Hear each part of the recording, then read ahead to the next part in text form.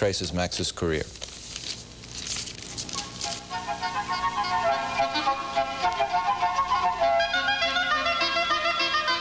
The face of Max Robinson is well known in Washington, but few know the private man who spends his mornings painting. His story and that of his career tells a story about Washington, a story of growth for a man, a city, and a news town. To the commuter, Anacostia is just another highway sign along the expressway. From his speeding car, it probably appears to be a pleasant and peaceful community. Even a closer look might not reveal the smoldering discontent of many poor black people in mid-Anacostia. I'm Max Robinson, NBC News. It was after many years of unrest erupted into a clash between citizens and police last August that I came here to live. This program grew out of my experiences during that residence. Our story is not so much about Negroes and poverty as it is a story told by poor black people living on the outskirts of American society. This documentary, The Other Washington, produced for WRC in 1967, won Max Robinson an Emmy and established him as a newsman in this city. At that time, Washington was racially polarized. Max stood out as a talented black man with great potential as a broadcast journalist. In the late 60s, a black journalist in this city's newsrooms stood alone. I had a lot of doors slammed in my face by people who, who were really indignant because I would even suggest that a person of my color I could get into something like this, you know. My mother and father taught me that people who would make a distinction based on color, who would shut you out or attempt to shut you out, because no one, uh, we were never taught that anyone would be able to do that effectively, mm-hmm. who would attempt to shut you out, are people who are beneath you, you know. And they really taught us that. And so we, we, that was an indignation on our part, you know, and anger at this foolishness. Uh, at that time, I really related racism to ignorance. Max had 35 jobs before he really began to build his broadcasting career. He DJ'd for radio for a while, but he wanted television.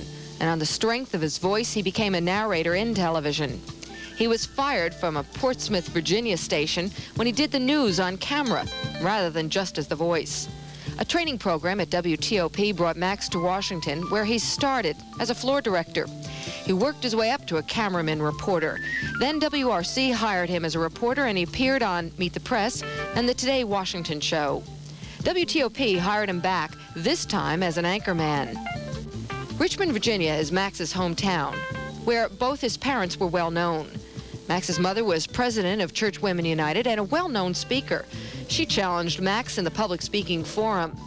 His father, for whom he's named, was a hero, an athlete, and a high school coach. He challenged Max on the playing field.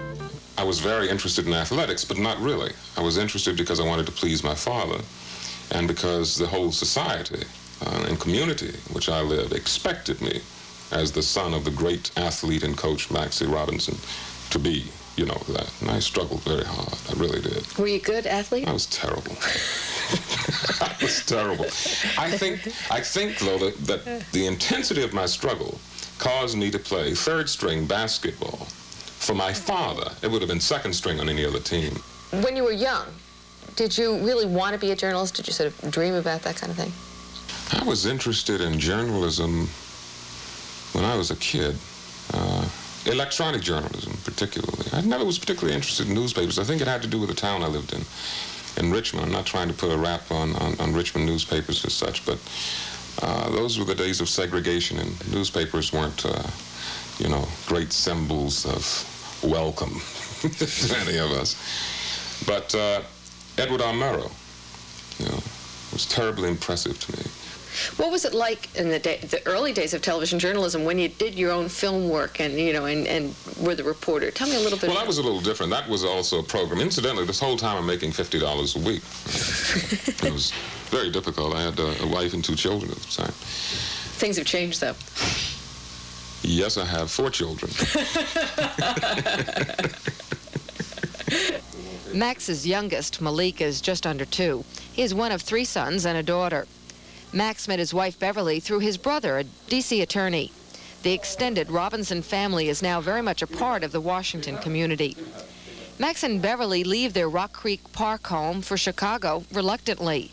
Both have spent a lot of time here in what Max's mother calls their treehouse. Home is for entertaining family and friends, which they do often, but home is also a gallery in which hangs the works of the painter Max Robinson. Painting is very meaningful to me. Very meaningful to me. As I got into it, I found out how meaningful it was to me. Uh, it's a very, very good way of, first of all, concentrating totally and being in touch with myself.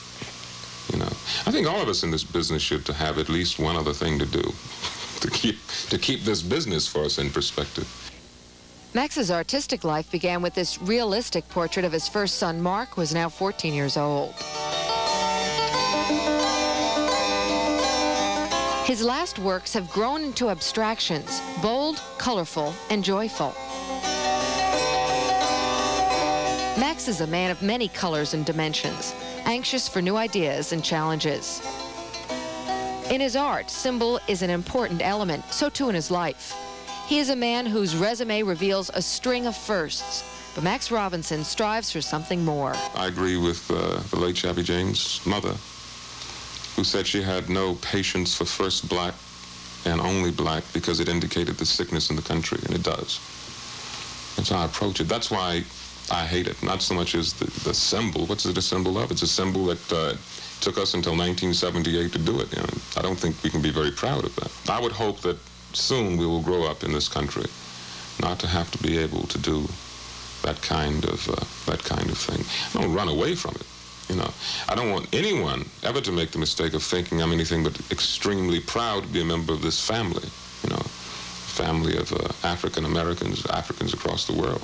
It's a tremendous ancestry there. You know, and uh, I am sure that it's been very helpful to me. But I'm not a racial chauvinist either you know, and I don't believe in any kind of chauvinism. Uh, my wife tells me sometimes I'm a male chauvinist, but I'm working on it. Max Robinson, one of the profiles of Washington. Before we go, you should know that WTOP-TV is providing the Howard University School of Communications with $2,500 to initiate a Max Robinson Scholarship Fund.